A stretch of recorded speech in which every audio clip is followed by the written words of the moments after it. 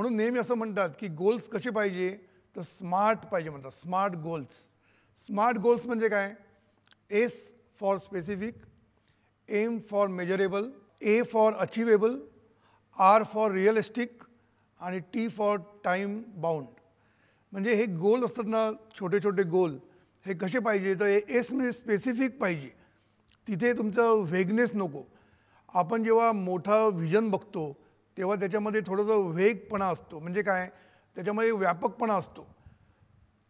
म्हणून त्या तो मोठा गोल असतो तेव्हा तो व्यापक गोल असतो. पण जेव्हा आपण छोटे गोल करतो तेव्हा ते छोटे गोल कसे पाहिजे? स्पेसिफिक पाहिजे. म्हणजे नक्की काय करायचं आहे ठरलं पाहिजे.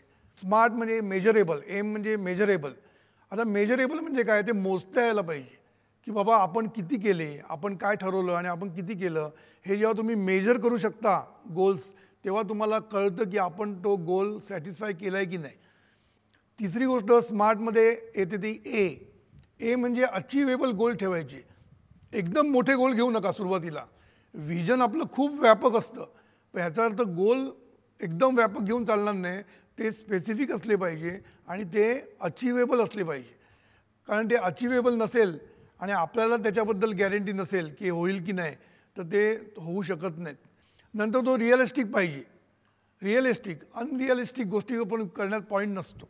म्हणून रिअलिस्टिकला खूप महत्त्वाचं आहे. आणि शेवटी टी म्हणजे टाईम बाउंड कारण तुम्ही एस एस सीला नव्वद टक्के मिळवायचे तर तुमचा अभ्यास एस एस सी झाल्यानंतर करून काय फायदा नाही आहे सगळं टाईम बाउंड असतं. तुम्हाला एका विशिष्ट टायमामध्ये आय एस ऑफिसर व्हायचं असतं. किंवा तुम्हाला जे काय व्हायचं असेल पायलट व्हायचं असेल कोणी व्हायचं असेल तर विशिष्ट टाईम हा त्याला टाईम बाउंड हे गोल्स असले पाहिजे. म्हणून हे लहान लहान जे गोल्स आहेत तुमचे जे तुम्हाला मोठ्या व्हिजनपर्यंत घेऊन जाणार आहेत ते लहान लहान गोल कसे पाहिजे? स्मार्ट पाहिजे.